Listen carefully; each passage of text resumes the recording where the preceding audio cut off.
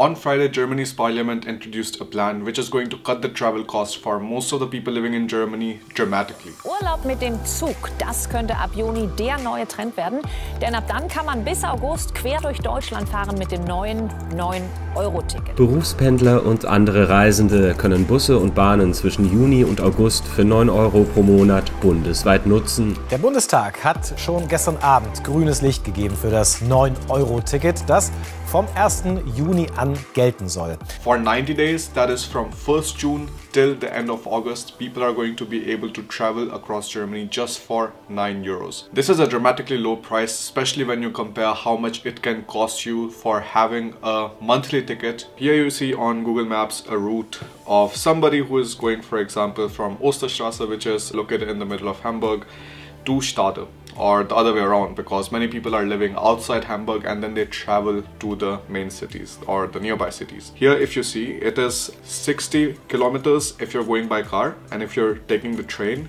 the time is very similar. It's going to take 1 hour 24 minutes. If you're going by car, it is going to be around 1 hour 20 minutes. Now, if you take a look at the price of this travel alone, it is given at the HVV website, which is the local transportation company of Hamburg.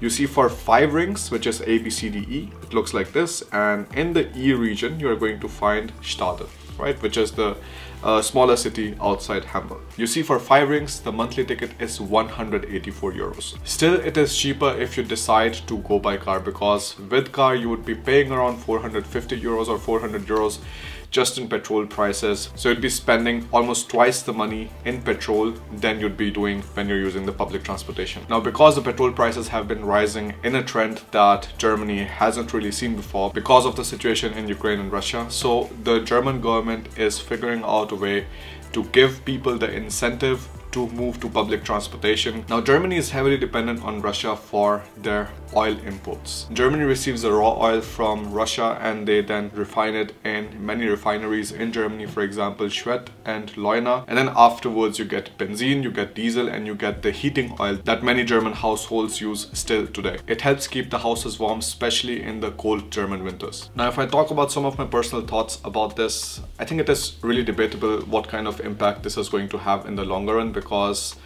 many people choose to take cars because they don't want to sit with a lot of people in public transport. They don't want to stop at every single stop. But on the other hand public transportation especially in germany also has a lot of positives. Just like i showed you right now from Stade to hamburg like if you're taking the train it takes almost the exact same time that you'd be taking with the car but the problem is going to be that you will also have to focus on the road. It also gets tiring at times. Whereas if you take the public transportation you don't have all of that headache. Compared to countries like US and Canada Germany's public transportation is actually pretty strong. So no matter what kind of place you want to go to most of the times you'll be able to find some kind of connection there be it a bus be it a train or some kind of tram. So I think the choice in the end is going to still come to the people who are going to be commuting every single day. In Germany, 13 million people use public transportation every single day. That is a very big number when you compare it to many other countries, especially in terms of the percentage of the people who are using public transportation in a particular country. And this is also a great opportunity for students and professionals to actually just go around the country and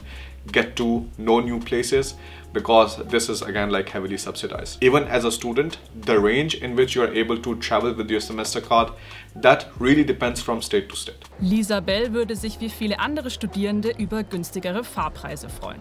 Denn heute geht es nach Augsburg. Dafür reicht ihr Nürnberger Semesterticket nicht. Kosten nur für die Hinfahrt 30 Euro extra. Ich habe das Semesterticket, das heißt, ich gebe schon so 35 bis 40 Euro normalerweise aus für das Semesterticket. Und mit dem 9-Euro-Ticket wäre es natürlich um einiges günstiger. Also one important thing to note here is that this offer is not valid if you want to travel on ICEs or the intercity express trains.